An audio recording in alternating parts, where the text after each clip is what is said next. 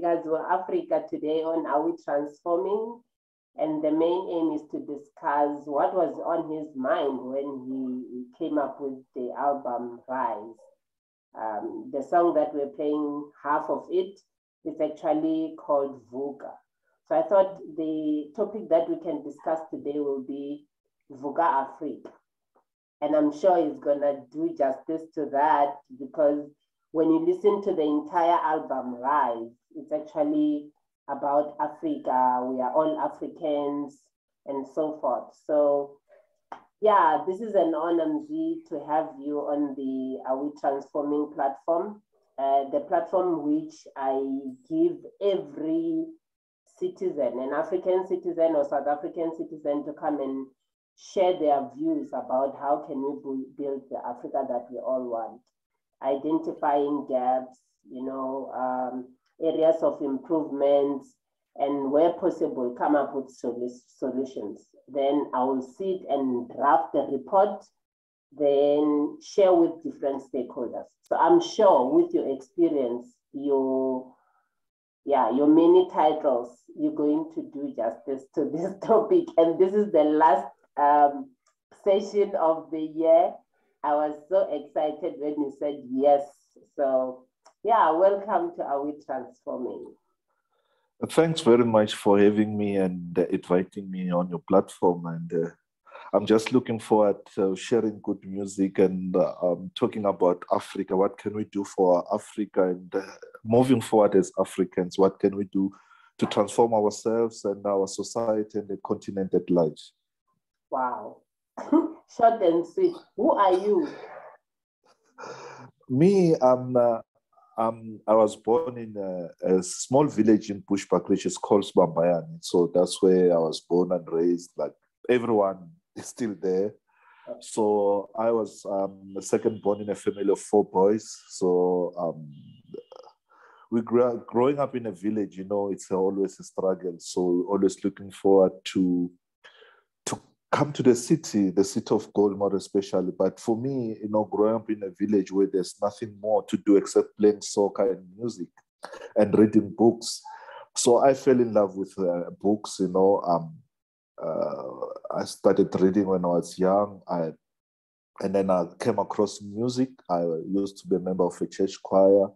I wrote my first song when I was 11 years old. So, and then my church uh, choir members encouraged me to write more songs because they liked the song that I wrote. So um, I wrote my first poem when I was 13 years old. You know, I was part of, um, uh, I can see that my eyes were open at a young age for me to see, to join the struggle. You know, at the time in South Africa, things were very bad. You know, we had the apartheid regime, and even though we're in the village, we'll feel it, you know, because it was all over South Africa. So I wrote my first poem titled Tears of a Blind Man." You know, basically for me was to, if you could sit with a blind man at the time, explaining to the, that blind man because he couldn't see the situation of what was happening in South Africa at the time, mm. the blind man would break down and cry. So that was the poem all about. You know, that mm. the situation there could even make a blind man cry. So that inspired me to write my first poem. And I never looked back, you know, uh, from village, you know, I moved to Joburg. The, the rest is history, so they say. Yeah, the rest is history. But people do not, okay, people know you because many people, when they saw your, your pamphlet that I was advertising and they, um, they realized that it's you, they started sending me WhatsApp messages. Who is this person? How do you know this person? We know him to be this famous person why do they consider you famous? What is it that you do other than what you have just told us now, which makes you famous? Uh, I, I, don't think. I don't think. I think. Uh, I, I mean, famous is fame. Famous is a very. It's a very. It's a very. It's a. I mean, the guy would dig, like for example, if you if you see someone three times per week on uh, on the street, are they famous? See someone once per year on TV, are they famous? So it, it, describing the word famous is a really subjective, so to speak. You know, yes, I mean, uh, I had a TV show on uh, Major Moja Love, like on Channel One Five Seven three years ago, uh, but it's still on repeat now. People still seeing it, and they think it's a new show. The show ended three years ago, and now I'm I'm an award-winning journalist. I've been writing stories for the past twenty years or so. So people know me as a journalist. They know me as a TV presenter. They know me as um, a, a, songwriter and musician. They know me as an author. My, my memoir was one of the best-selling books in South Africa, you know. So, so a lot of things that I've been doing. I'm, I'm an artistic, so I only do things that is art. You know, I'm a creative person. I write, I make music, I write as a journalist. I'm now ventured into movies, you know. So it's a everything that has got art that is challenging me creatively, I want to get myself involved in. Wow. that is really applauded. Um, I actually get to also understand because after they asked me, I started um, researching and, and checking what is it that actually do. And I found a whole lot of articles, many of those which will be considered as controversial sometimes, not controversial in terms of them not being relevant, but asking questions which many people will shy away from. I think that will also bring us to the topic of today Rise, which is your album. And then you have Africa as one of the first titles.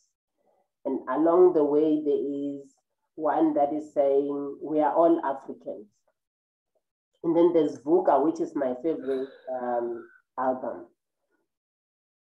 Out of all those that I have mentioned now, my, my view will be there's a need for Africa to rise. But it's a cliche kind of a, uh, everybody will say that um, Africa must rise. But what does that mean to you? And probably what is it that you can tell us for us to also rise as Africans? Okay, see, the issue is not every day when the sun rises, everyone is awake. Some people are awake but still asleep. So, uh, Rise the album is for those who are half asleep to say, Wake up, see what is happening in your Africa. What can you do to make it a better Africa? What can you do to take this message to the next person and to the other next person? So basically, Rise is saying, Wake up politically, spiritually, and as a human being. You know, most people say the beginning of wisdom is to fear the Lord. Mm. I'm saying the beginning of wisdom is to know who you are. If you don't know who you are, how can you fear the Lord? First, you have to start with yourself. You have to wake up so you can know there's a Lord. Mm. You have to know yourself so you can answer to someone else's name. So for me, rise is like rise up as an African, stand up for what you believe in, Mm. Tell the other person so they can join you. And if you rise up, if you look at the cover of Rise, it's, it's a baobab tree. Yeah. If we all rise up together, we stand together, we become a strong fist that not even the strongest wind will shake us. So that's why the concept rise. Let us all rise, let us all unite, let us stand together and move forward to make Africa a better place that we want it to be. Okay, in your view, I believe the reason why you wrote is because you saw something that made you to believe that we are not as united as we're supposed to be. What are those things that you have identified which led you to writing this thing? Because for me, more especially Vuka, it's a reminder. It talks about me seeing somebody who is being beaten, but I'll keep quiet, or me seeing somebody killing the other person, I'll not even call the police, I'll just run for my life. Yeah, you know, those kind of things. Family no longer becoming that place of safety because people get beaten through gender based violence. What are those things that made you, over and above that which I'm mentioning, that made you to think no, Africa is not as united as it's supposed to be, and as such, possibly is not as awake as it should have been or it should be.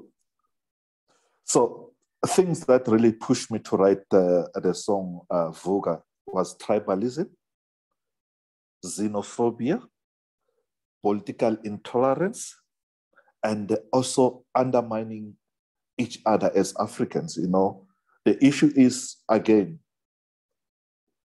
coming off from a village. You know, in a village, everyone, every person, every man and a woman is your mother and father regardless whether you are related to them or not. If someone want to send someone to the shop to buy the bread, you stand by the street and say, child, they say, hey, what's that?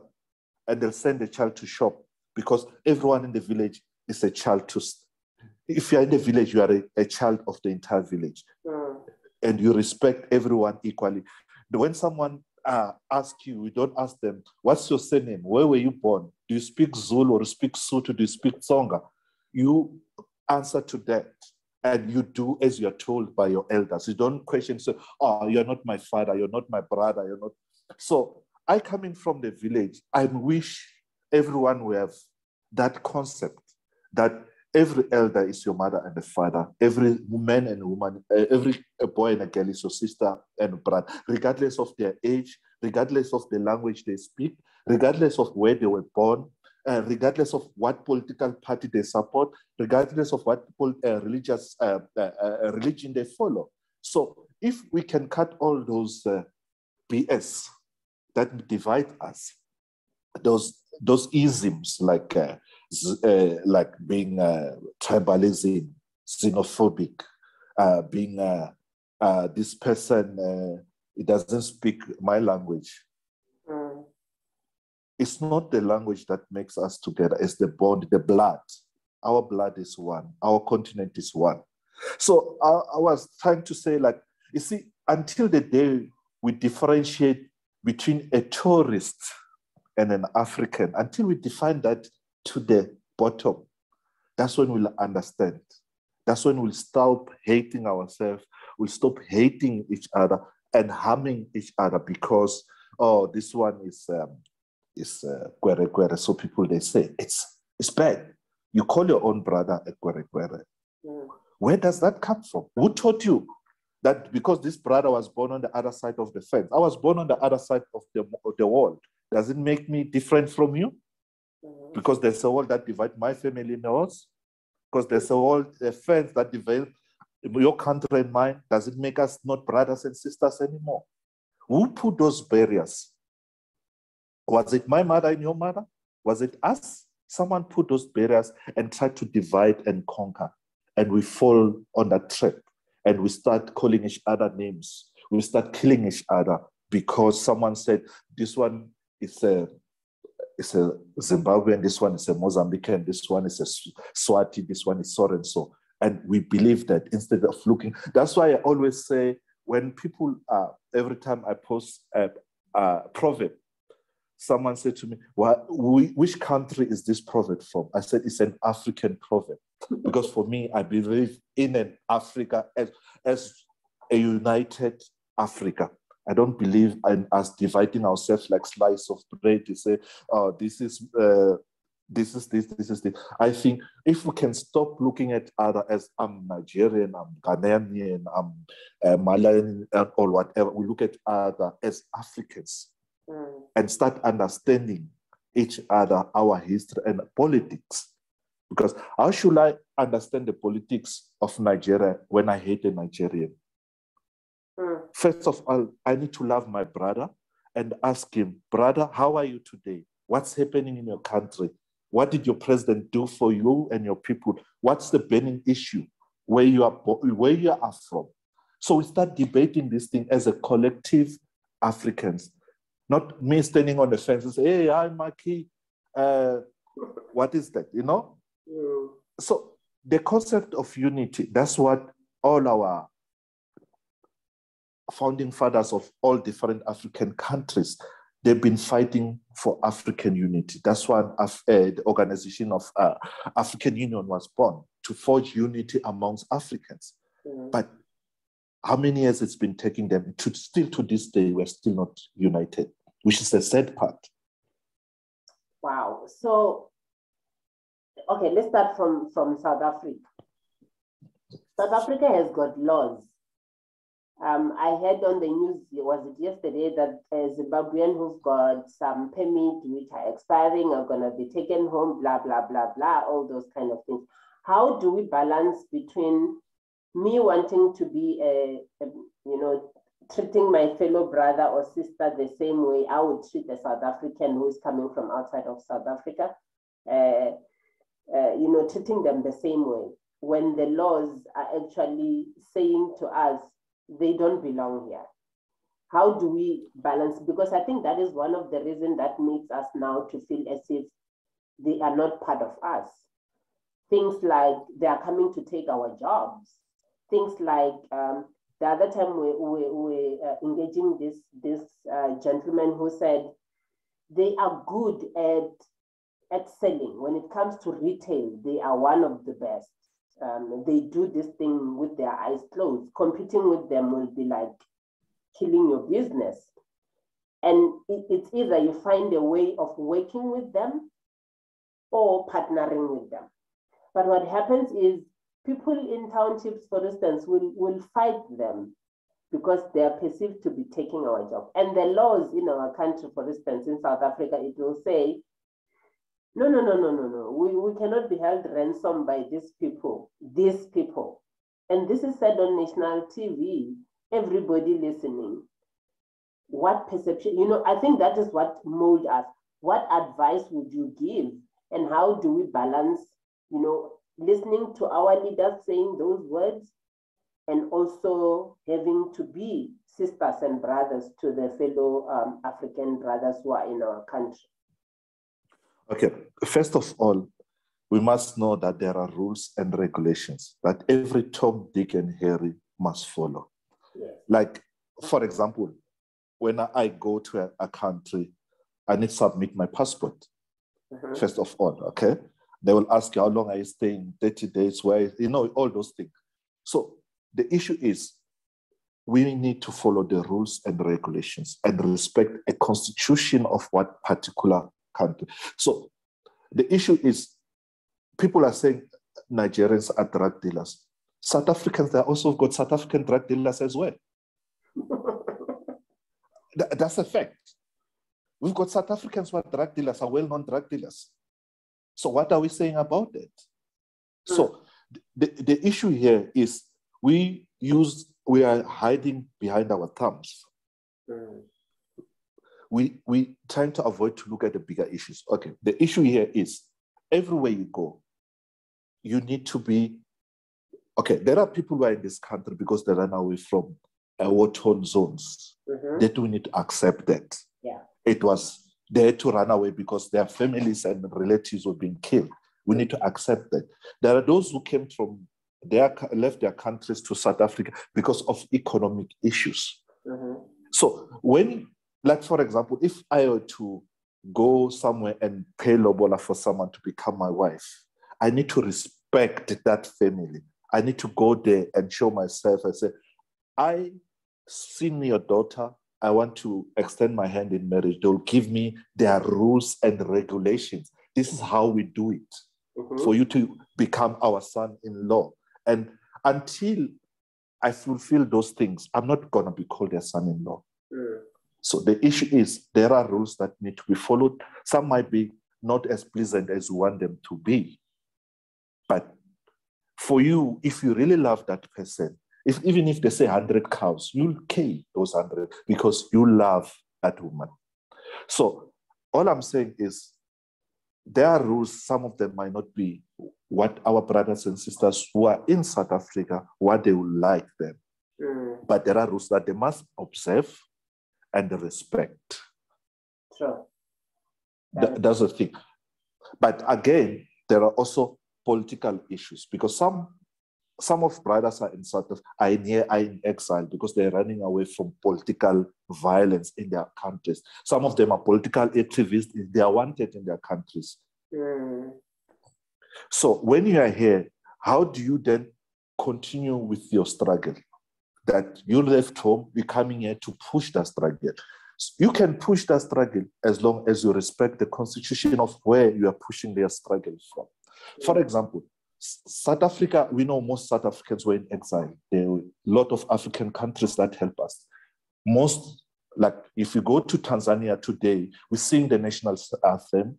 We go to Tanzania today, you'll see um, our our, our, our, our, our freedom fighters have left their families up there. You go to Zambia, it's the same thing. You go to Mozambique, it's the same thing. Um, to an extent, in Lesotho and Zimbabwe, it's all the same thing. They have they contributed one way or another in our struggle. Mm. But the issue is when our our freedom fighters were in exile, they were documented. They knew if today someone is, is coming here looking for Mzilikazi, they will take you exactly where Mzilikazi is. Yeah. Like now, if someone coming here looking for certain, we don't even know where they are. Who's to be blamed? It's our system.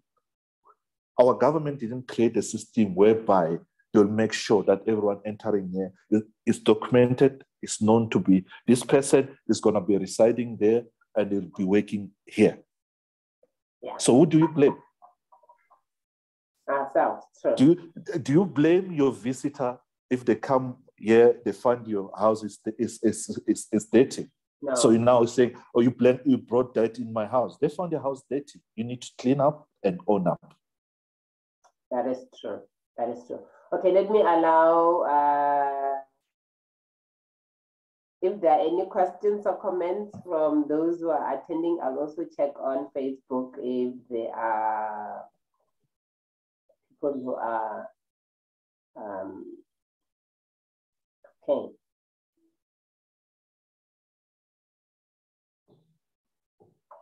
All right, uh, do you have any question or comment?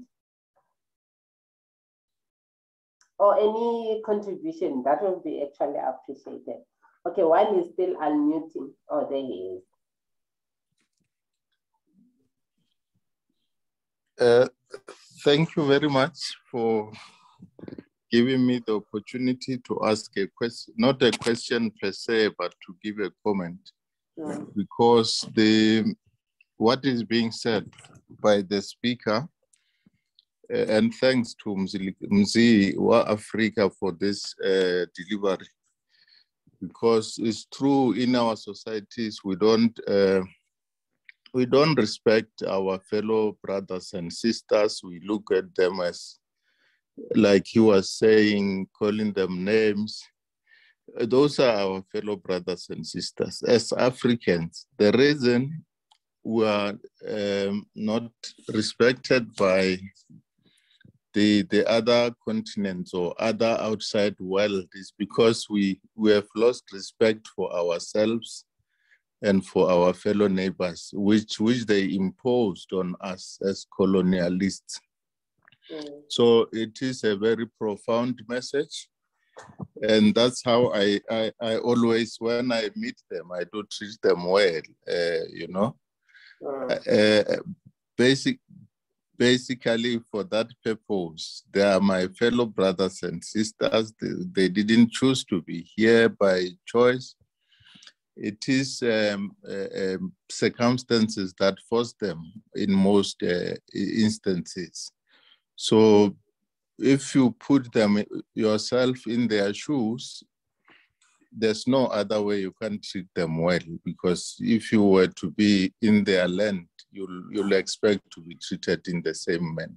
Okay. But um, it's a very profound message. It, it, will take us a long way if we just change attitude towards these brothers and sisters from across countries um, and to know who we are and love ourselves more uh, as as Africans and not not uh, regard ourselves as second fiddle to other races. Uh, it's really it's a mockery on uh, to our ancestors who fought so bitterly for this land, for our freedom. So we should cherish being African. It's the best thing one can be. Thank you, uh, Mzi. Thank you, host. Much appreciated. Okay. Mzi, um, the the comment right now actually take us to the to the track which says we are all Africans, and I think you have alluded, alluded to the fact that we should treat each other equally. I read somewhere it says um, the best, the greatest treasure and wealth Africa has is its people. Do and its culture. It's Yeah. people and its culture. Yes. we really consider ourselves as the wealth of Africa, or we always focus on the minerals that we have? Do we do we really consider ourselves as that? We are all Africans, yes, and I think we, we can we can do a whole lot more that will put Africa on a different on a different level. But do we consider ourselves as that?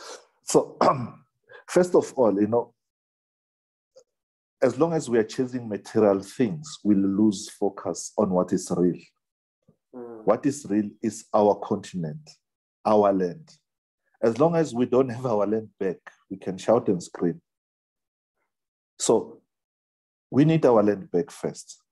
With we have our land back first, we can be able to dance on it, to plow on it, so we can fight poverty on it. So like now, the levels, the the the, the, playing field is not, not level because I'm standing on here, like I think uh, someone said that, like I'm standing on a ground where I'm a tenant in my own uh, in my own country, mm, while someone else is not, and this is not his country.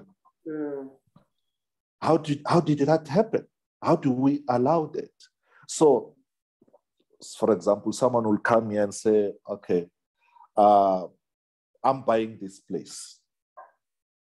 We are good at selling our land, our souls, and ourselves to strangers instead of preserving and saving what we have for our children and our grandchildren and the future. Africa has been sold slice by slice by different politicians to different buyers, different colonizers, different missionaries, and all of that. It's time that we reclaim mm, what is ours, bring it back to us, and then decide as now that we have this, what do we do with it? mm. So, are we trying to get back our land so we can kill each other, or are we trying to get back our land so we can grow, plow, be happy on it? It's up to us to decide. I've been to more than 20 countries across Africa. I've been I've been treated very well in places where people don't even know who I am, where I come from. No one called me names. I can tell you that. I've been I've been to more than 20 African countries. I've been treated very well. Like you look at me, I'm dark. People don't think when they look at me, they don't think like I'm South African. So I've been called Ekwere Ekwere in my own country, and like because I'm darker, I'm from Bushbuckridge. I've never been called names in any other African countries I've been. I've been like I'm, I've been to more than 20 countries. I stayed in villages, cities, and towns. No one mistreated me. And then I also think traveling is the best education. Is many of us are able to travel outside the borders of South Africa, they will understand why we have many of our African brothers from other countries here in South Africa because they, have, will have seen, observed, and witnessed what is happening in other African countries. So it's lack of knowledge, lack of education. People think because you've gotten a degree, a PhD, you are educated. No, you are not. Until you know who you are, where you come from, who are brothers and sisters, then you are not educated, no matter how many degrees you've got. one of my questions, because one of the questions was, we are acquiring all these qualifications, and they say that developing Africa is will require knowledge, right? Um, will require us, uh, you know, knowing each other, like you're saying. I was reading a small article, and and we have elevated qualifications to a point where it defines us. Is that how we want to rise? because I think we're adopting too much Western, westernized um, cultures or approaches, but we, excuse me, we don't necessarily, we don't necessarily, uh, what's the word? We don't necessarily understand how we can be able to use the skills we have. Because I believe in villages like you coming from a village, there are people who knows what to do specific things or who have been doing specific things or even running businesses without all those PhDs and masters. Um, do we really do we really have the or, or maybe let's start by asking what will be the approach of educating each other on on becoming the Africans that would appreciate who we are and not be defined by our qualifications? Um, the pyramid. The people who built the pyramid donkeys years ago, did they have PhD degree in engineering? Exactly. If they managed to build a structure that is still standing today without the degrees that we are flaunting around, what stop us from progressing going forward? Having a driver's license doesn't make you the best driver in the world. it's the skills, it's the skills that we have when we are sitting behind the wheel that makes you the best driver, not the license that you are holding. That's what we are missing. We think by us being in possession of something, it means it elevates us to another level. You can have all the degrees in the world, but if you don't have the knowledge, the wisdom, and the understanding, you're as good as illiterate. Mm. So, so the issue is, yes, we need you. You need the knowledge to know what to do. You need the knowledge to know this is my right hand, this is my left hand. Mm. But like you look at our history, uh, it is always, history has always been an oral history that has been passed by generation to uh, from generation to generation by our elders. Mm. Most of it was not documented in, in black and white, but most most of it, even though it's not documented in any book form, is still alive today mm. because it's been passed from one generation to the next, which shows you that you don't necessarily, it's not that the book that opens your eyes, is the knowledge. People think having all the books in front of them, they've seen it all, they've got, have it all. But if you don't know, you don't know how to apply the wisdom you've acquired at school, you don't have the knowledge of connecting the dots from the books that we have in front of you, it's useless. Okay, that brings me to the point of acquiring land.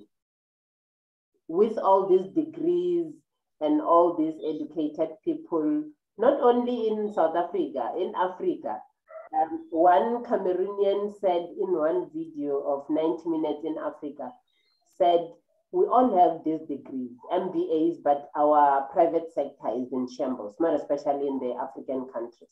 We all have these chemical engineering, uh, you know, uh, qualifications, but we can't even manufacture a granite, a grenade, he said, or even a weapon for us to use. Then we acquire this land.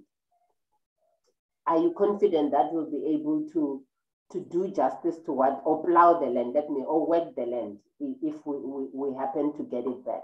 Or there's a need for us to partner with those who have been using the land prior to us being uh, given, it being given back?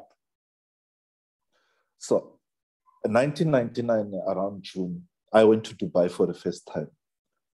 It was a desert. Today I go to Dubai, I'm like, what happened to the, to the desert that was there in 1999? It's the wisdom of the leadership that transformed that desert into the world, its most sought after tourist destination in the world today, that Dubai is. So the issue is the guys had the land, it was a desert. But the leadership said we can turn this desert into something else, something that we can be proud of, something that we can show to the world that regardless of where geography has put us, but our skills, knowledge, and expertise can put us on the on top of the world map. That's what Dubai is today. From being a desert to the most beautiful place, one of the most beautiful places under the sun today. So are you saying What stops that? Sorry? Are you saying that leadership is key towards us? Leadership. That was done by the leadership in that region. Because they had good leadership who were visionaries, Mm, who saw what is needed for their people to rewrite history on the world books. The leadership decided for us to move forward, for us to be globally known and recognized, we need to do something outside our circumstances. mm, And you look, for me, I always say, for me, it's a classical example. When I look at Dubai today and the Dubai I went to in 1999, it's something completely different. Creativity. It's, it's good leadership and good visionaries Mm, coming together mm. for their people, not for their stomachs. That's what happened. Let's talk about the stomachs. Uh, okay, I'll, t- let's talk about the stomach, then I'll take uh, Mr. Mabo. What is it with the stomach of Africans that makes it difficult for Africa to, to rise the way you and you have said it should rise in your album? are we too hungry to a point that we forget that we we need to to take the seeds and plow them in order to you know harvest next time what is it that we can do to stop that It's not we are that are we too hungry? We are too greedy. That's where the problem is. We are too greedy.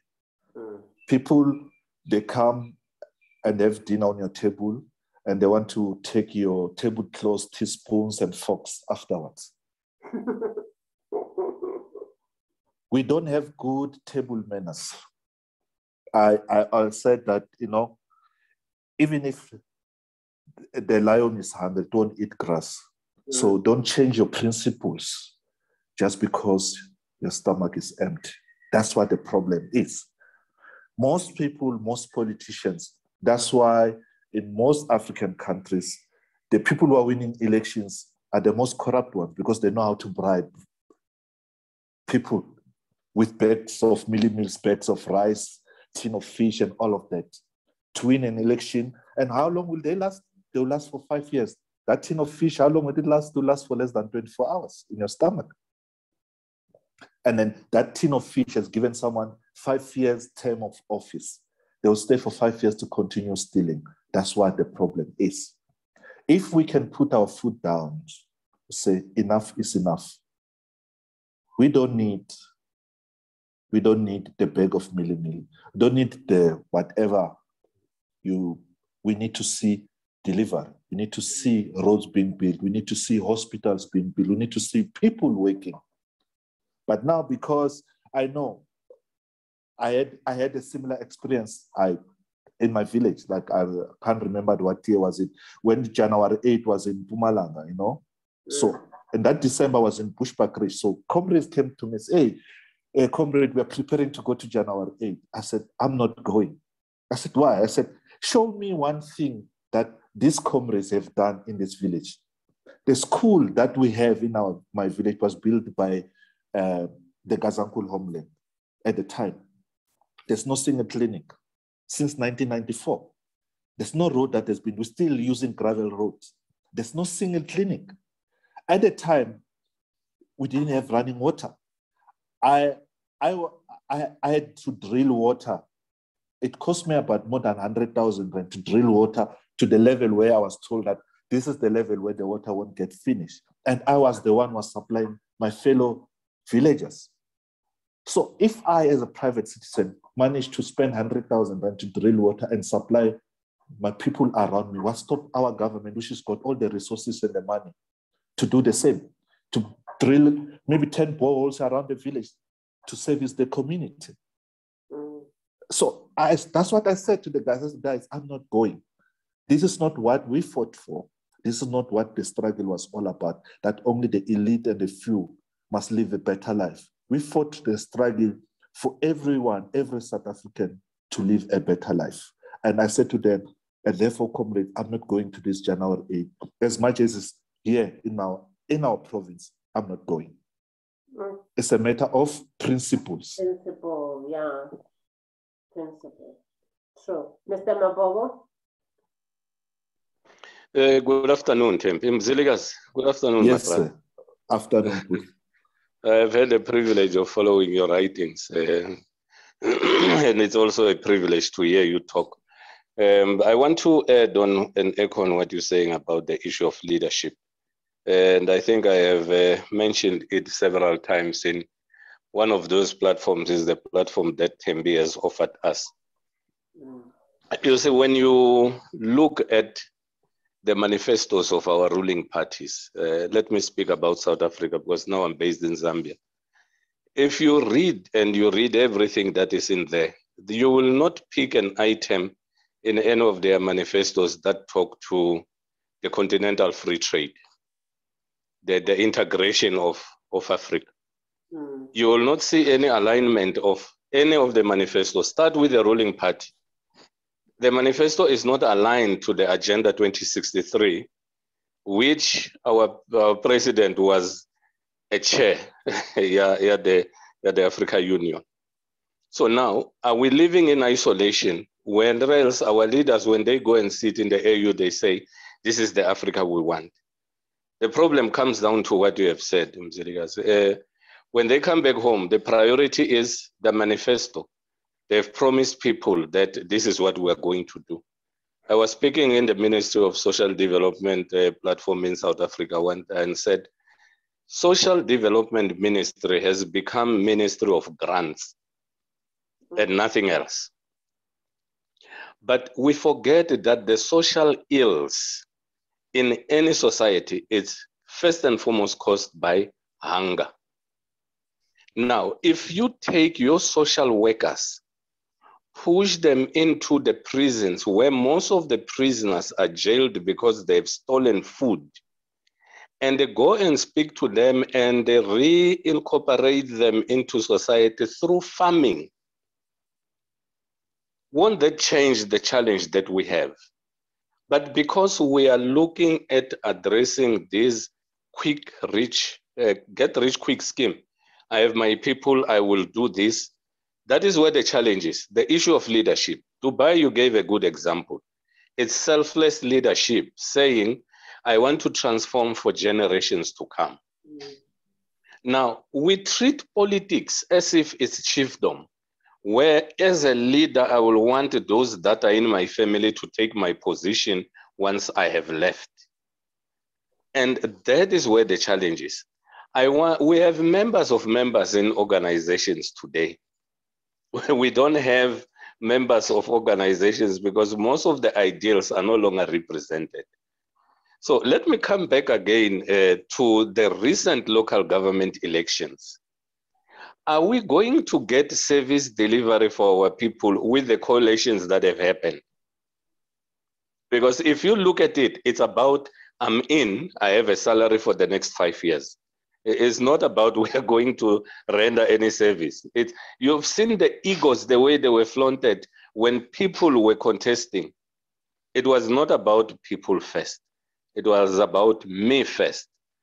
And if you hear our politicians talk, then you realize we are far from getting to the Africa that we really want, the Agenda 2063. You mentioned that you have been to more than 20 African countries and not a single country has mistreated you. I'm based in Zambia now. There's not a single day where I have been asked where I come from. Um, I'm treated as a human being with warmth, with smile. They will pick it up in the accent. Are you? Uh, oh, are you from South Africa? Yes. Oh, wow, what a wonderful country. But are we doing that? Because the dictates of continental free trade are saying free movement of goods and services, including people, to trade. But politicians are saying, we want foreigners to get out of Johannesburg. And yet, that is the economic hub of Africa. Why are we not addressing that particular issue and remind our people that South Africa was discovered because of trade? Mm. The Netherlands, when they were going, the Dutch East India Company was discovered. It was trade they were after. So now we have taken the issue of trade. Tembi, you were asking the issue, are we going to be able to utilize the land if we get it? If I remind you that in Zimbabwe, when it was Ian Smith, white farmers were not just having the skill. The first 10 years, they were being capacitated. Government put resources in capacitating them. That's why they are the so-called good farmers. They did not start good, as good farmers. The reason why a black person today, when he sits and he looks at a farm and will not farm, is because of the history attached to that. Parents were slaves in our farm, in the farms. So we resent farms because of the history that is attached to it. But there is nothing that will stop a black child, if trained, to know what to do on that farm. So we should not utilize the issue and have an excuse, yeah, they will not know what to do with it give it back and give me the support that goes with it. Have leadership that aligns and say, this is where Africa says it's going. Let us align our manifestos. Let our people look at the Agenda 2063 and the manifestos and ask the leaders, where are you taking us? Because we don't see you aligned to the Africa we want, Agenda 2063. So how are we going to trade with our neighbors? If you are saying people must go back? Mm. Is a question I'm posing. Maybe okay. Mzilikazi will help answer it. Yeah. Yes, that's a, that's a that's a that's a good question. That's a good question that needs a, a really answer. But my my my my contribution to it, like you said, uh, you said there's uh, it's no longer people are no longer members of a political party; they are members within members. So someone will come to a rally. They are members There's a, of, of, of a member. there are members of a member of a party, so they are not members of a party. Okay. They support that individual. So because that individual is taking good care of them. Mm. Tenders through tenders or whatever, jobs, government jobs and whatever. So like today, if you was to stand up and so, but this person, this particular minister or this particular president, what he's doing is wrong. You'll have all the press singers who are benefiting from all the wrong things that he's doing, insulting you on social media and all the platforms that they can get because they're defending their stomachs. They're not defending principles and, and they're not defending anything else. They're defending where their bread is coming from, where, the, where their bread is buttered. That's where the problem is. People defend their bread and sell out their own people their own principles. Mm. That's where the problem, our biggest problem is politics of the stomach. Is it a South People African will, problem or is it also an African? It's an African, it's an African problem. It's an African problem. Like you go out there and ask yourself, why is this guy still a president? You will say, hey man, you know, he came here with a truck full of uh, of maize meal and he gave us. So what can we do? Yes. That's so the problem. leading. Poverty is because we because of the that's why if you look at I think the local government election that Jabu has mentioned, if you look at it exactly, is the people in the cities who are like now not depending on the hands up from politicians who can vote for whatever party they want to vote for. Mm. So until we get so that's why politicians are trying very hard to keep people in chains so they can control them. They can tell them, vote for me, so that next, after five years, I'll come back with another loaf of bread for you. Not that tomorrow I'll come back with another loaf of bread. That's what they're saying. So keep people in chains in poverty so you can keep them as your slaves and you become their master. For how long? That's the question. The people, people don't want to free themselves. People want to see their chains made comfortable, not their chains being taken away from them. It's like most people, fear, fear is the biggest thing. I think uh, Jimmy Iovine put it this way that if we can be able to change that fear, not to push you from behind, but you stand in front of that fear and say, I'm, I'm taking you fear head on. It will never. That fear, that's why people would be afraid to start their own business. Say, What if I fail? How am I going to pay my medical aid and all of that? So that fear is forcing people not to achieve or to go as far as they want. People say, okay, what if we vote Thembi? Will Thembi still give us the bread that we're getting from this other guy? That's the problem. It's fear, fear of the unknown. Mm. And politicians are very good at using that fear to manu- manipulate people to gain votes and to stay in the office, to continue looting and continue looking after their own people, mm, mm. not looking after the entire country.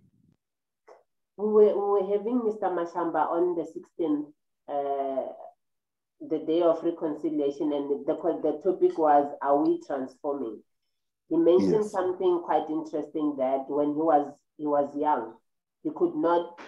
I recognize you, uh, Mr. Mabogo. I'll come to you he said he could not speak facing his his father on his face, like he could not have eye contact. Yes. Because that will be considered as disrespect. Disrespect, yes, yes. And, and in the process, he became so afraid of raising his views that he will he will complain on the side. Because my question was, why is it that as Africans, whether it's in in, a, in at work or in corporate or government, um, or even in political organization, well, I'm not really that active, but I, I've noticed that people will murmur and complain on the side, but they go there and say, yes, sir. No, that is okay, sir. Um, it's fine. Oh, keep quiet. If you want the Africa to rise, as you, you are saying in your album, to what extent are we supposed to get out of that culture? Because it's a cultural thing. And it's not only an African cultural, black cultural thing even even I, I think countries. I think what you're raising that whole issue that uh, we grew up in a culture, the, your generation, the generation of us, we grew up in a culture where like we'll uh, we'll be afraid to look at our dads in the face and say whatever is in our mind. Uh, but the young generation, forgive my friend, uh, my French, they don't give a shit. If if thing is wrong, they will say it. This is wrong. They'll say it straight to your face. They will point fingers at you because they've realized that our generation has been said, yes, sir, yes, sir. Now they're saying, you touch us, we'll kick you. Mm. So we grew up in that generation of respect, but how do you continue respecting someone who does not respect you? So the new generation have realized that these guys, we have seen them respecting this guy, and this guy does not respect them. Why should we respect him? if he does not being respected by this person. So that's why they're standing up. Like if you look at the, you, you look at, for example, I give you a, a history of Senegal. In Senegal, it was the youth that changed the shape of of, of political uh, landscape in, in, in Senegal, where the youth came out together to say, we are taking out this president. We are tired of this nonsense. And the youth came up in numbers and changed the landscape politically in, in Senegal to this day. It's the youth, because this is their future. Mm. And the youth are tired of standing, waiting for their fathers and mothers to change things for them. And they've realized that their fathers and mothers are running a losing battle. Now they're coming in and they're coming in to kick us. Do we see the same thing in South Africa because they don't even participate much in politics or even go to vote? the youth in South Africa, yeah. if, if, if, if we're to be given the number of youth that voted in this local government election, I'm saying that my son voted for the first time this year. He, he woke up, he said that we are going to vote. I took him. To this day, I never ask him who he voted for because I, I believe in his own judgment. My son, let me give him an example. My son, when he was at the primary school, so there's a family meeting so we go there, they say um, the family meeting has been called because a teacher was fired by the department. One of the kids wrote a letter to the department exposing this teacher as being a, racist Afrikaner because he was an African teacher. They read the letter in front of everyone. At the end, when they said the name of the choose children, I realized it was my son. And he didn't even tell me that he wrote the letter to the department that even got the teacher fired. I only learned about it in that meeting with everyone. Wow. And you can imagine, yeah, and that was primary school. I'm talking about primary, not high school. It was at a primary school. So the issue is we need to teach our kids to stand up, to stand up for themselves, to defend things when they see it's wrong. So my son did that because he has seen the struggle that up. I, that's what I taught him. Yeah. That don't allow someone, don't turn the other cheek. There's nothing like that in real life. In fantasy, yes, turn the other cheek. That's fantasy. in real life, don't do it. And that's why I'm urging people, don't turn the other cheek. Mm. Mm. Mr. Mabogo? So, Oh, yeah. you can finish up while we. he So the, the issue I'm saying is that the point is, I, to this day, I've been asked my son, who did he vote for? Because I trust his judgment. Mm. That is so true. Mr. Mabogo, this is quite interesting. Mr. Mabogo. yeah, no, I wanted to come in. I don't want to lose the thought uh, in, in in what has just come out. I want to go back a little bit to when is it going to end, where we have leaders that are continuing to to take us for granted with everything. You know, the, as for as long as Tembi, our um, economic development is driven by government, there will never be an end to this vicious cycle. Um, I'll use South Africa again as an example. Any economic development activity is led by government. Uh, the parastatals that you're supposed to get money from as business are government led. Uh, your IDC's shareholder is DTI. Your DBSA, the chairperson, minister of finance, your PIC shareholders, you know. So your SEDA, your leader, your NYDAs, every institution where any business that has to go in and look for support, it's give government driven. And there is a politician on top, and there is a constituency behind it. And there are civil servants in there, those that are appointed according to party allegiance. So they are told this is what we need to do. We need to empower our people. We need to give to the youth. We need to give this. That's why you find that government contracts are given to people who are not deserving of those contracts. It is about money. That's why you don't see any delivery. So it's very difficult for you to bite the hand that feeds you. Let us look the issue here, yeah Zimbabwe, for example, when late President Mugabe stood up and dealt with the issue here, uh, taking the land back. South Africa applied quiet diplomacy. And you could understand that uh, South Africa, Pretoria hosts the largest, uh, second largest population. Had the, had the diplomatic corps. And it was hailed as having the best constitution. And it was President Mbeki who was the president then. But the business community in South Africa did not stand up to support or take advantage of the economic Uh, uh, uh, challenges that were in Zimbabwe to say we'll partner with our Zimbabweans because we have spotted a business opportunity. Because funding came from government. You look at what is happening presently with what uh, former President Jacob Zuma is going through.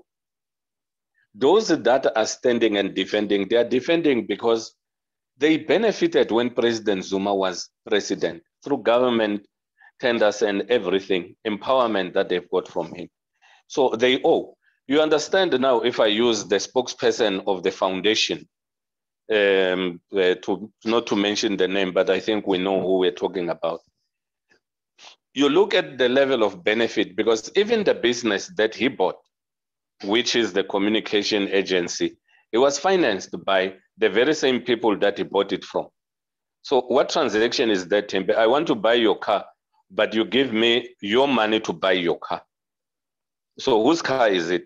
We are basically legalizing the transfer of the car to me, but because I owe you, that car remains surety that if I don't pay you back, I'll get my car back.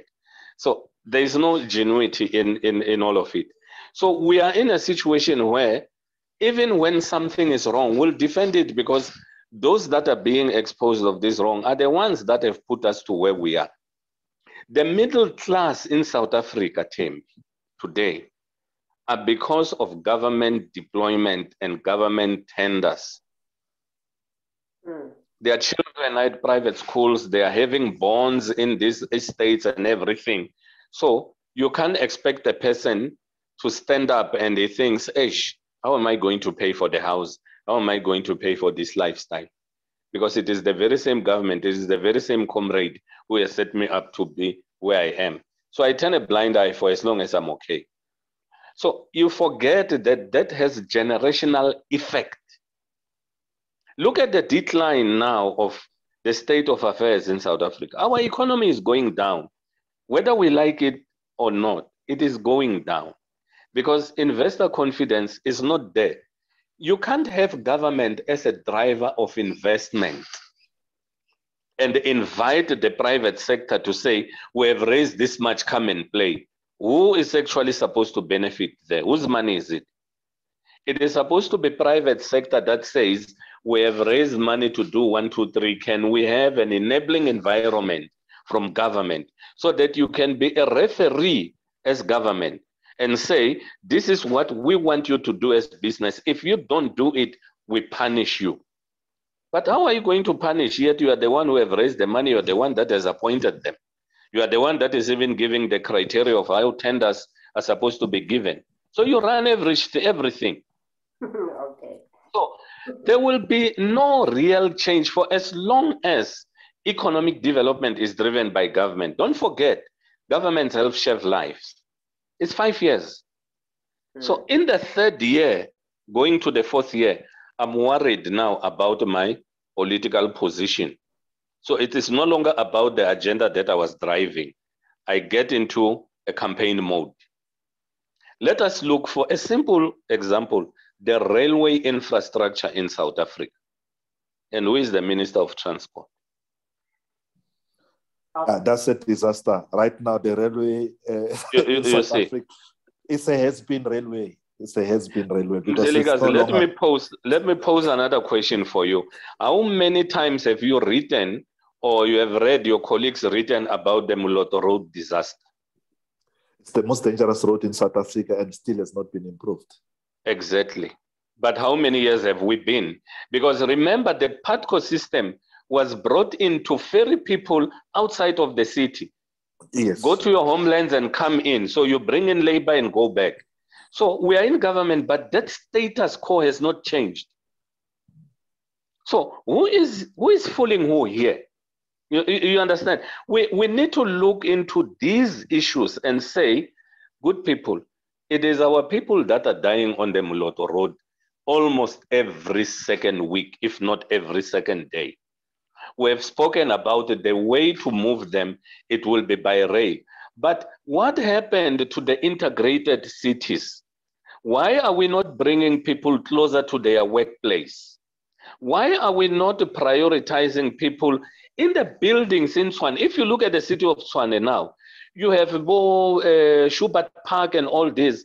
They are not occupied. Why not build them and improve and bring the people that are supposed to shuttle into the city and give them priority of rent there? Stay closer to your workplace. Stay with your families. It is the disaster. But we are not doing that. Cullinan Mine, Mzilikazi, has been shipping diamonds uh, to, to this day. But look at the Refilwe township next to it. Pretoria as a city has three car assembly plants. Ford in Silverton, BMW and Nissan in Rosslyn, but they are all surrounded by high employment rate. Show me one person who can afford driving a BMW or a Nissan in and around Soshanguve and the surrounding areas, cars that are assembled here. Hmm. Who is benefiting from the social enterprise development of that? Mamelodi, they produce Ford there, but you don't see Ford in the township of Eersterust and Mamelodi. Who is benefiting from the corporate social investment of those financial institutions? Hmm. We don't ask these questions because money accrues to those that are sitting as MECs for economic development, ministers of finance, and you can name it.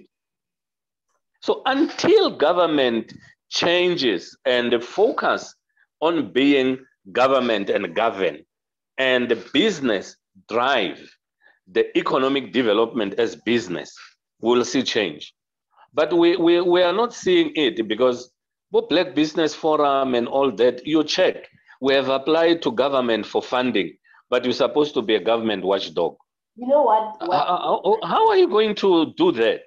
Mr. Mabo, what my worry is South Africa always look at itself and worry about itself. And in the process, those who are, you know, surrounding the, the, the country come in and want to partake on the very small slice that is there. I don't think Mzilikazi has been kicked out a little bit now, but I don't think we have we have educated ourselves enough, probably like you have, to be able to to learn more about how we can contribute to the development of the other countries surrounding us, like you have done, moving out of South Africa and going to another country and, and, and being able to establish yourself in a manner that will also uh, benefit um, Africa. Maybe I can ask you and also uh, uh, Matome, what are the things that we should do to educate ourselves, not to only focus on our government? Because when we say Vuka Africa, it cannot be South Africa only. It has to be other countries only. And what will be our role and participation in Tembi, I've let, let's ask this simple question. You have asked about why are people not moving out of uh, of South Africa and see that. Look at the, stra- the, the strategy that has come and that we use. And I don't have, uh, please pardon me for using it as an example. No, no offense intended. We say township economy, right? You must rebuild the township economy and have the township to be the townships to, to revive their own economies. But let us look at the plan. What were townships established for before? They were established to be labor dormitories, right?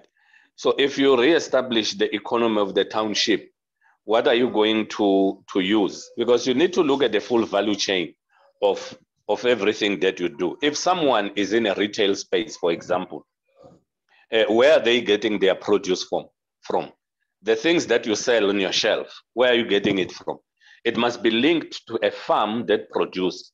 Who owns that farm, right? So we need to trace that line, that value chain.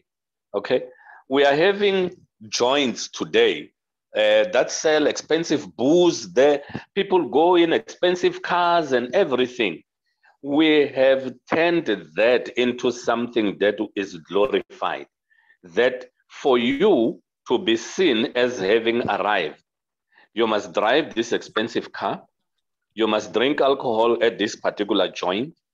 You must have a woman who is commodified in a bikini to be seen to have arrived, right? You are buying a bottle 24,000 and you are buying this and you are you are fine. So how where do you get that money to sustain that lifestyle? It has to be money that comes quick and you don't feel it. So it is linked to a tender. Right. So what is the culture that we are breeding? There's nothing wrong with drinking alcohol. Link it back to where the hops come from. Who owns that farm? If it sustains the value chain, you can be at the right end, Tembi, of drinking proudly because you are all benefiting in that line of having produced that, that booze. You, you get my point? So we are keeping people in this township. We are reviving the economies in these townships because we want to sustain our voters. We don't want to leave them. They, they should not leave. Give them enough, but not enough for them to always look up to you. In South Africa, Tembi, it's not surprising. Go into the township, you'll find a 60 year old who has never owned a passport. Mm. A person who has grown up, grown up in Soweto, Tembi, who has never been to Pretoria. I'm not even talking about out of Gauteng. I'm talking about the next door cities. Mm. Ask someone who is in Soweto and say, I'm from Bushbuck Ridge, Mzilikazi. Uh, you will, you will hear him, Where is that place? So are you saying? So if we are not exposing our people to the truth and say, we understand we come from a difficult past as South Africa. That is a fact.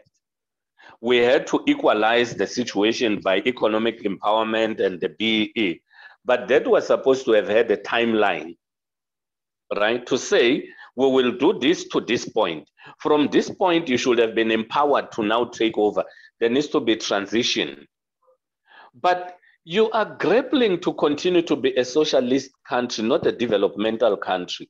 You are still giving people handouts, Tim, in South Africa today. No, we need to increase our grants. You, you are creating, you are increasing dependency on government. That's why when you don't give South Africans ban the infrastructure that is supposed to, government is not delivering. Okay, I hear you. You, you, you see where, where it is, the problem is. Yeah, so we need to we need to understand that if I have to quote from the Bible, the curse that happened in the Garden of Eden has not changed. We still have to eat out of the sweat of our foreheads. You are a mother, Tembi, and you remember the pain of of giving birth. It is out of that curse that you will give birth through pain. So until that is reversed, it means the status quo remains. You have to eat out of the sweat of your forehead, tilt the land and eat.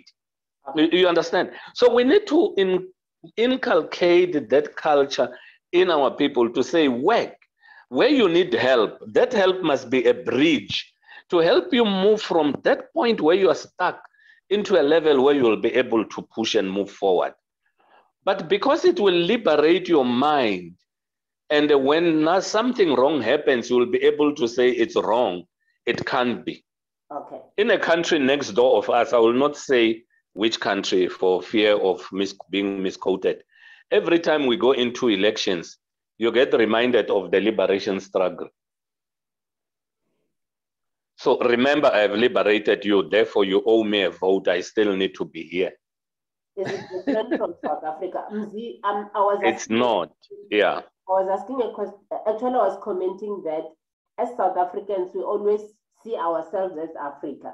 We, we always talk to African issues and, and always talk to, Af- to South Africa without, because of probably not being knowledgeable about what is happening outside. You and and and Mabogo now can probably give all these examples, and maybe uh, Matome can give these examples because you have traveled. But when we talk about Africa rising from the, from the South African point of view, examples that will always be given would be what South Africa is doing. All and all good, but I, I feel we are doing injustice in terms of identifying the gaps that that eventually affect Africa, I mean South Africa too the Zimbabwean influx, which now is, it is said that there's more Zimbabwean in South Africa than in Zimbabwe, probably could have been managed well if we had not been so concerned about ourselves. What is your view in, in, in making sure, or what is your opinion on, or, or your input towards making sure that as, as South Africans, we also broaden our horizon, you know, get to know. Mr. Mabogo was saying some people don't even know Pretoria. You expect them to know uh, outside of the country. That would be too much to ask.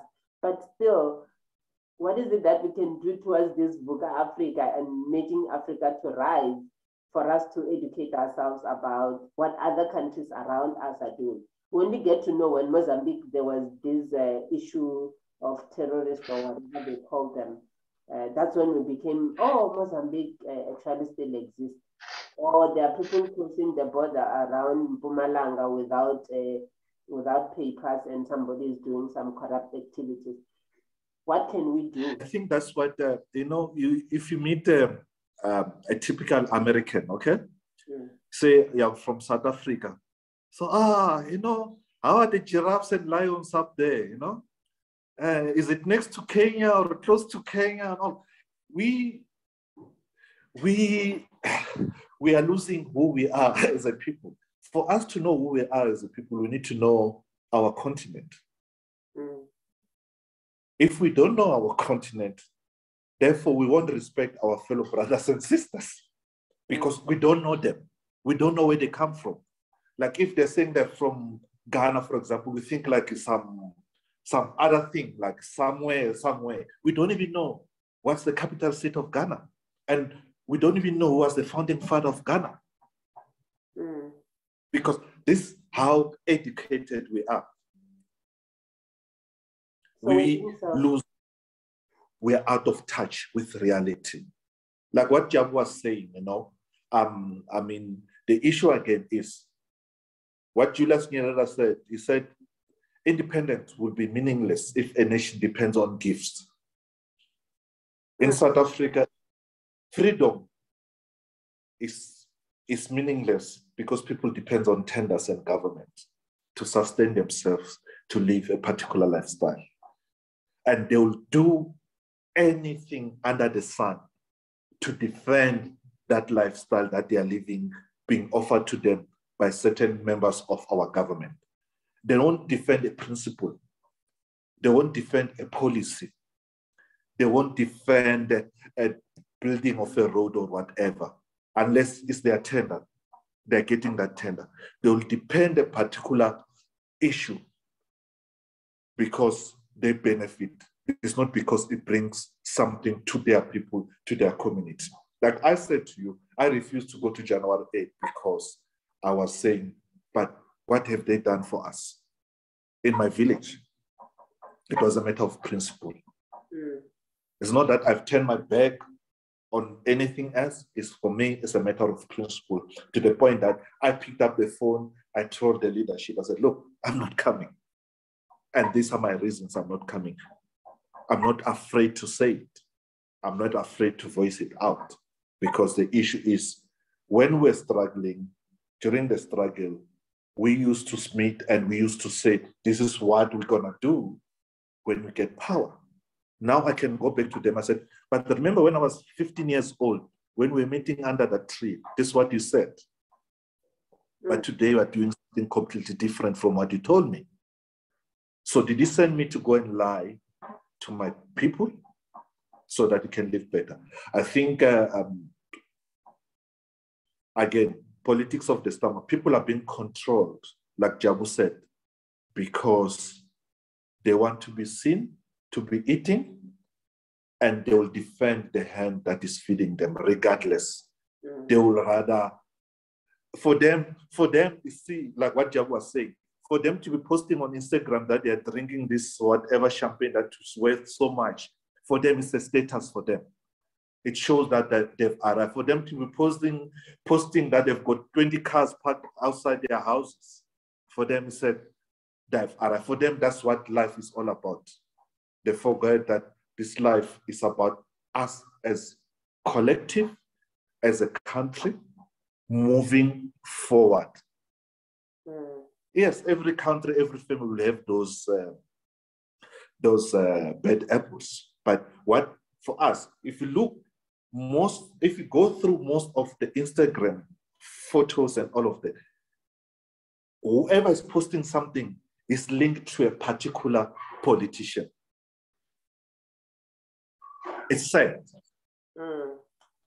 It is said when there are kids out there who don't have 5,000 rand shoes, but you can spend 100,000 rand every weekend drinking. You can't buy one pair of shoes for one poor kid. And you, the kid that you know from your aunt's neighbor, you know that kid. You know that kid doesn't have shoes. You know that kid, the parents are not working. But it does not cross your mind to buy that kid a pair of shoes because you won't post. It's not, it's not, it's people, are, it's not uh, fashionable, you know? Yeah. It's it- it's the saddest part of it that we we we we are out of touch with reality Mm. we need to, to go back to the drawing board who are we as south africans let's start there let's forget about our brothers and sisters who are here who are we as south africans what contribution are we doing in our own communities. Mm. It's sad. It is, it is, it is very, it is true. It, because people don't travel.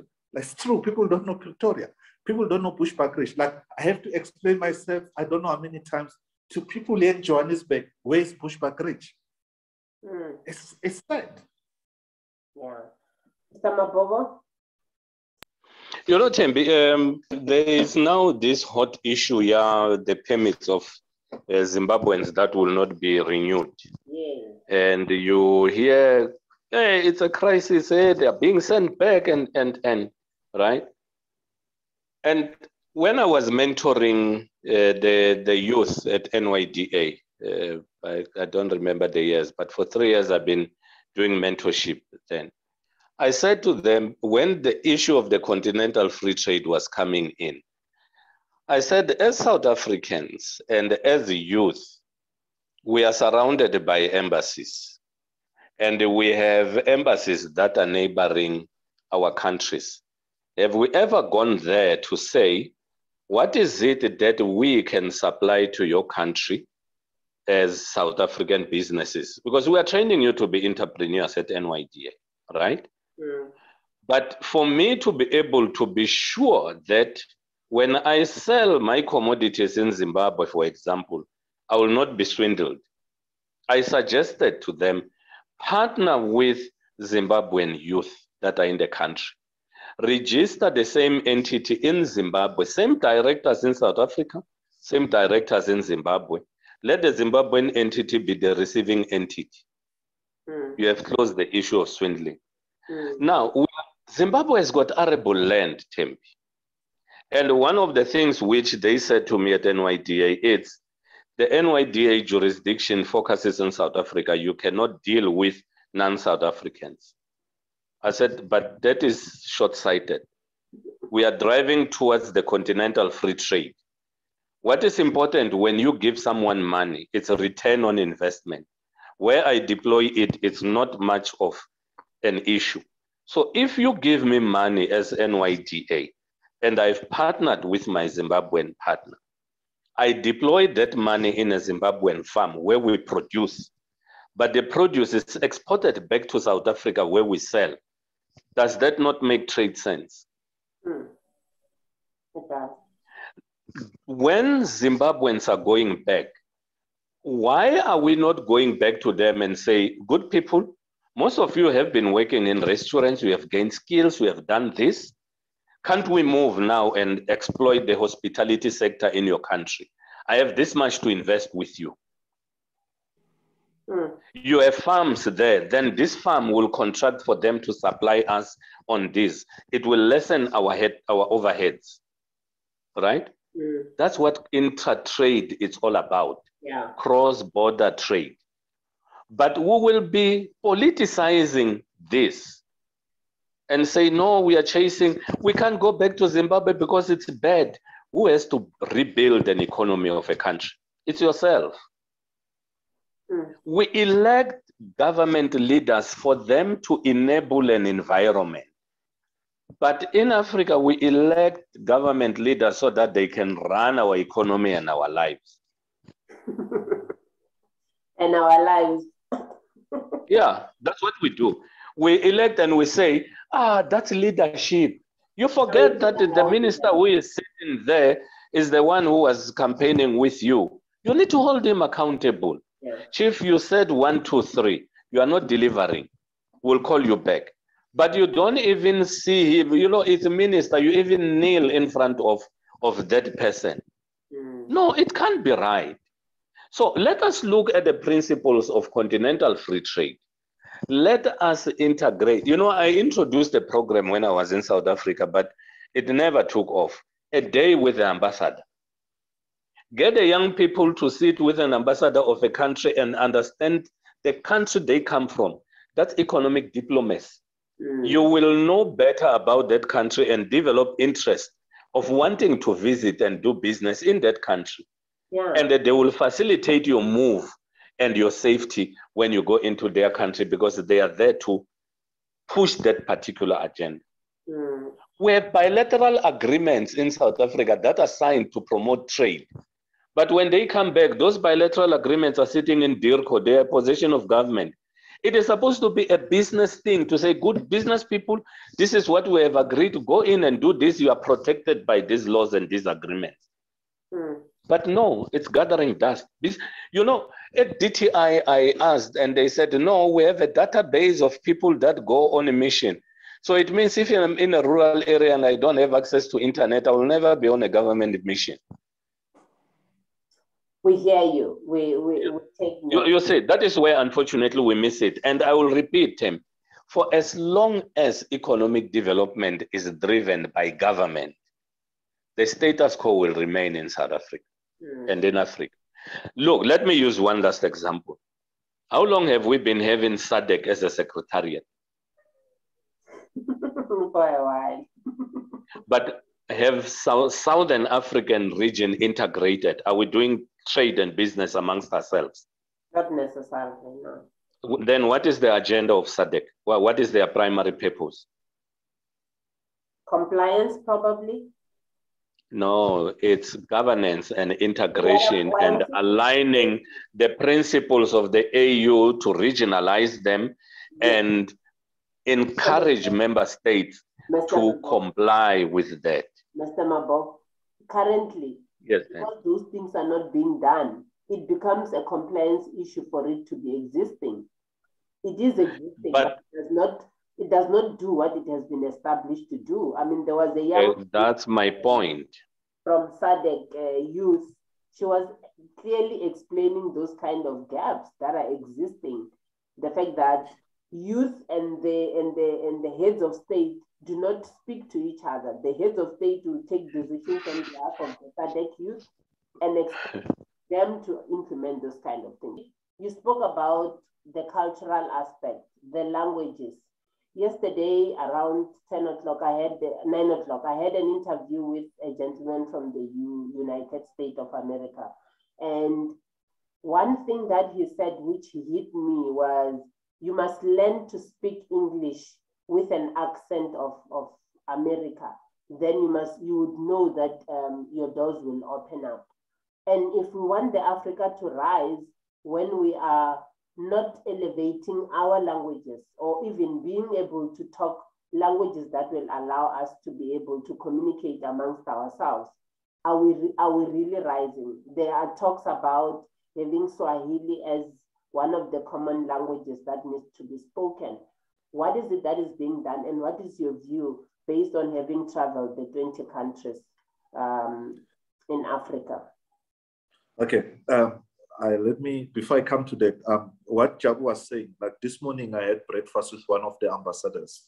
Like you know, he called me yesterday, said, "Can we have breakfast?" You know, so I went to Pretoria, and then he asked me the same thing that Jabu was raising, like, "What can we do?"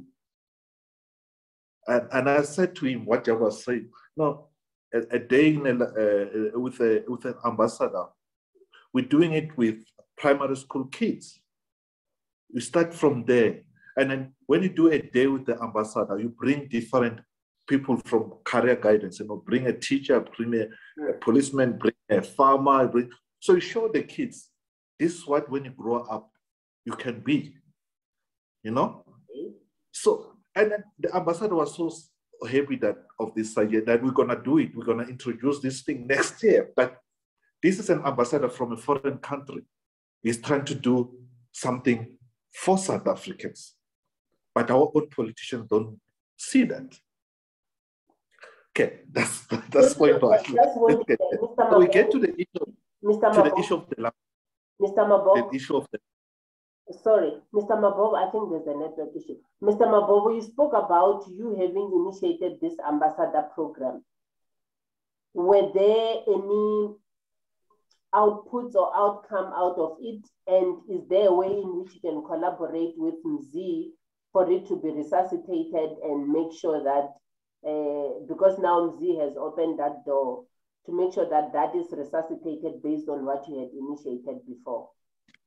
It is still alive, uh, Tembi. Uh, one of the reasons why I'm in Zambia is because of that. Uh, that I said, no, look, this is what we want to do is regional integration can you facilitate that I go and present this? It was through the High Commission of Zambia that I found myself here. They are the ones that referred me to a government office and say, this is what he's saying. Please check and listen. We make sense of what he's saying. And when we presented this side, it, it resonated with the government of Zambia. So we are working. Mm. So even going back, there's still that relationship with the High Commission of Zambia. Mm. So I'm not scared to mention that. I was the founding CEO of ZimSA Forum. We have a good relationship with the Embassy of Zimbabwe. So it is still there, you know. So these things can be done it is not about you know you know the, the thing that is uh, killing us Tembi as black people it's if i don't see myself taking the glory in this then no one else will do it we must look at the benefit part of it yeah so it's very easy to collaborate today we have this virtual world I don't have to be in SA to link Mzi with the network that is in SA hmm. to do it, as long as it is being done, to share and say, this is what we had in mind, that it cannot be aligned like this. And we share, compare notes, it gets done. When one has an opportunity, it can even bring an exposure to say, let it not be in South Africa. Can they arrange and we host them here in Zambia, host them in Malawi, host them in the country of the ambassador's origin? Mm. So it is about exposure so we can volumize it. I, I'm, I'm game. Uh, you have the contacts of Mzi. Uh, with his permission, I'll get them from you and you can share mine with him and we take it up. Because these things, we don't need permission. You know, this thing of let us first get clearance from government, it doesn't work. you do it as long as, Tembi, what you are doing, you are not disrespecting or disregarding any law. Yeah. Then stick on that lane and do it. I wanted to say, like on the issue of language, you know, mm. if if someone can blindfold you right now, blindfold you and take you into a mall for a whole hour, and then you come out of the mall, you will think that there were no black people in that mall. Because everyone in the mall will be speaking English. that is so true. That's the problem with us. That's the problem with us. We, when we are together, how do we speak English when we are together? You can, I, I know Tsonga, Nabulabula, Kabua, Nayaba So why do we have to speak English when we are together? But when you go to the mall, what are people speaking? They're speaking English. Mm. Why? Are we ashamed of our languages? What is that? Are we not indoctrinated to to think that speaking English is actually elite and it makes you better than others. And when you have the accent, like the gentleman yesterday was saying, um, once they hear you speaking with an American accent, the doors open for you. So people practice these things in order for doors to open for them, for them, which is a culture that probably needs to change. That's the I, I know about that. You know, I I was one of the students who got this scholarship by the like, um, State Department in America. You know, you go there, and if you look on their wall, the students that have been part of the previous students who have been part of the State Department at uh, this uh, it's called foreign exchange program by the State Department. Most of them come back and become president in future years. Then we start asking ourselves, how are they funded? How was the campaign funded? It starts from there. Mm. When they're in America, they realize they speak good, they've got good accent. They pick them up, fund their campaign, they become presidents of countries. And which policy are they going to be introducing when they are in power? It's not their policy, mm. it's an agenda by their masters. Mm. That's what the problem is. So I was part of that I came back, I still have got my own African accent and on our own church. how do we how do we educate our our our young people and our children to to to to what is the word to sort of um, embrace embrace the fact that speaking in Vernac is not in indigenous language. It's actually not a bad thing. It's actually good. I think I'm also guilty of that. I was so, it is simple. We start by being proud of who we are, mm.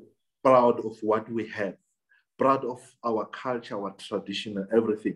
So as long as when you give birth, your son is not uh, it's not Thomas or Michael. It's your son is Nkateko, uh, Tapelo, uh, Mashodi. We are, we are getting somewhere. As long as your son is Michael, is uh, Gladys, is uh, is uh, Fairness or whatever you call our we call our kids these days.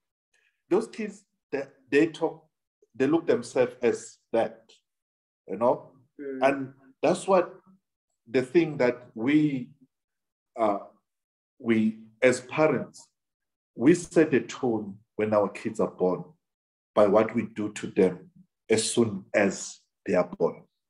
Mm. We set the tone on how their life is going to be. Uh, that's why, to a certain extent, although some we do have our beautiful names, although we do have some funny names that you it then said ask, ask yourself, why do you name your, son, your child Matlakala? You knowing what it means. Mm. Why do you name your child Mahlatin? Knowing you know exactly what Mahlatin means.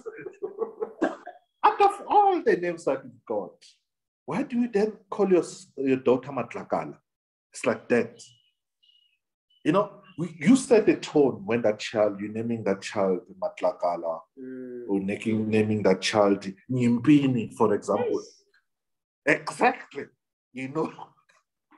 Mm. So those are the things. Yeah. We we as a parent, we jinx our kids mm. at birth. Mm. So those are the things that we need to look look back. Back in the days, back in the old days, kid was not named immediately after he or she is born. Yeah wait for a day. They have to think, what will this child be called? Now, this one, they're born five minutes later. Not even before you're born, you've got a name already. Your parents have prepared a name. If the boy is going to be Michael, if the girl is going to be Agnes, you know, they've already done that. But in all this, it was not like that. The father had, had seven days to think what name am I going to give this child and why am I giving this child that particular name? Yeah, we have a long and we, and we lost it. Yeah. and why we lost it? Because we thought it's, it's useless, but it was useful. Mm, mm, mm. The side effect of that thing that we thought is useless, we can see it generations later. Yeah. I have an I have a Christian name they call it too. my middle name is English, so yeah. But I didn't call my I didn't give my son any. Uh, he's got African. No, my uh, no one in my house has got. My daughter, my firstborn, has got the English name, which is Fidel, which was she was named after Fidel Castro. That's it. That's the English. Her name is Fidel. She was named after Fidel Castro. That's the that's the only one with an English name. Uh, the rest of my kids have got African names. Mm, okay. Okay, back to your album as we wrap up. I just want to pick your brain on track one, Africa up until the end. How you have collaborated with so many uh, artists from different countries, well known for that matter. Uh, yeah, you can name them yourself because uh, I think it will be good for people to have this album. They really need to listen to this one.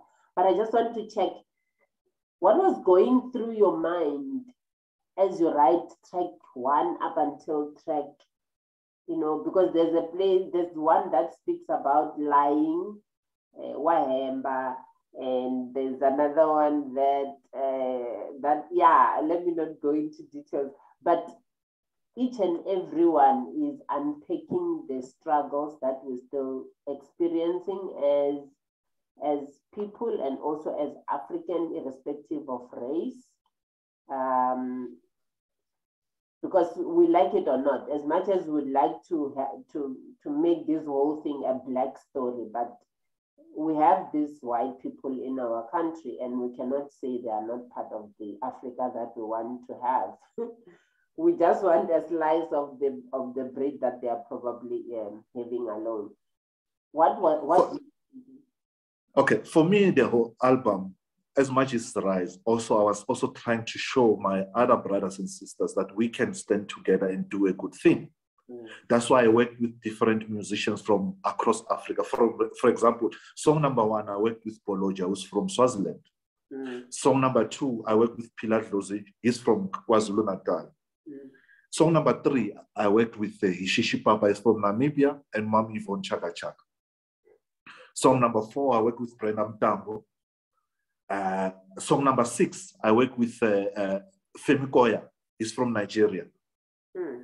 Song number seven, I work with uh, Zena Edwards, she's based in, uh, in England.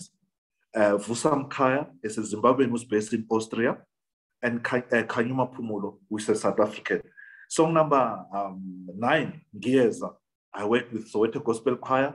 And Oluhle, she's a Zimbabwean, born but living in uh, in, um, in, in, in, in England. Mm. So it looked like song number 11 uh, uh, one day. I work with Lami. She's from Ghana. So you can go through this album. You can see I try to say we can come together, work together. I've got Salif Keita on the song We're All Africans. Mm. He's from Mali. So this album has got different musicians. I've got Umoja with Kampi Moto from DRC. Mm. So I've got uh, Farina Kutana, which is has got uh, uh, Kinda uh, Kuyati from Senegal. I've got Botswana from Central African Republic.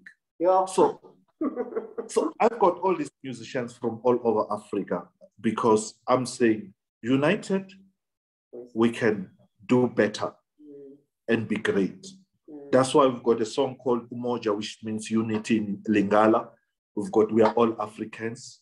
We've got um, uh, uh, we've got um, Masbiele which means let's go back to our roots. We've got Africa with Bholoja.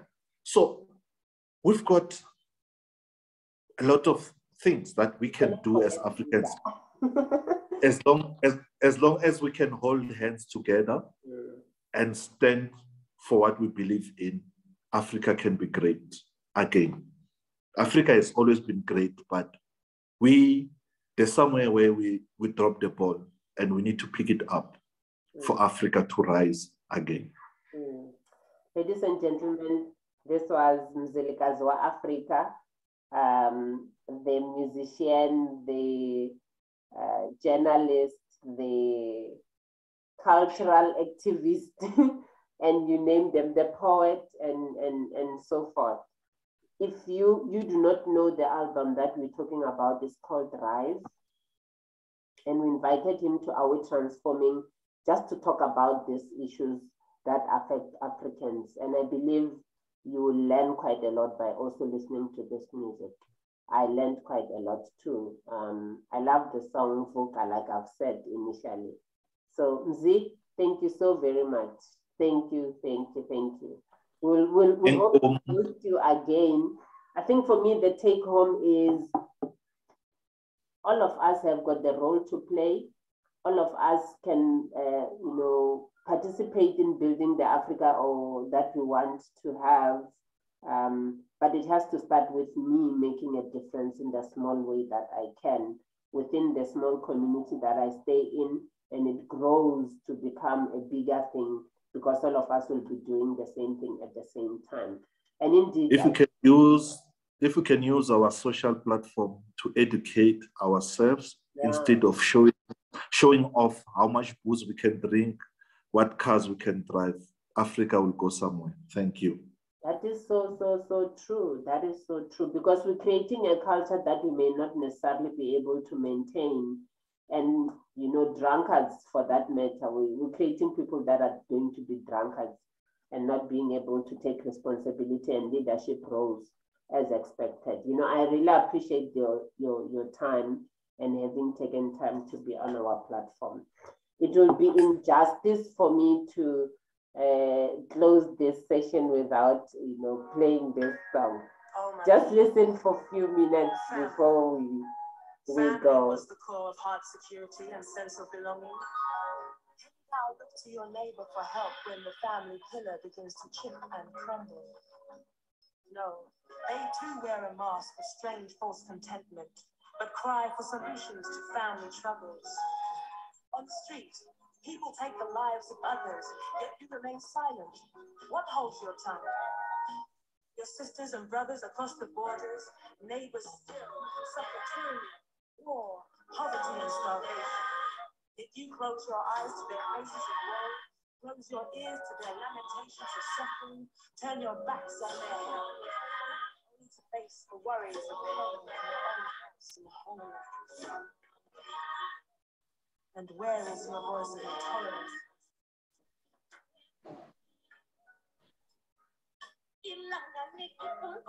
Yo, I always have goosebumps every time we play this.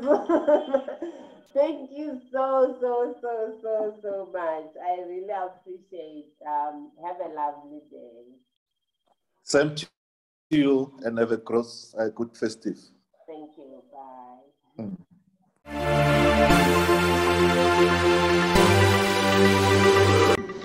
Thank you for watching. Please don't forget to subscribe to our channel and also follow and like our LinkedIn and Facebook page. See you next time.